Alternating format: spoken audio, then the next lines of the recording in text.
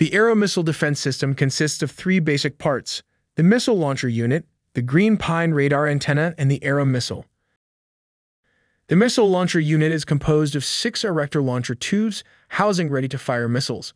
Positioned at the rear of a two axle trailer, each launcher, when fully loaded with six launch tubes carrying ready to fire missiles, weighs 35 tons. The Green Pine radar serves as the warning and fire control radar for the Arrow 3 anti ballistic air defense missile system. It plays a crucial role in target detection and guidance.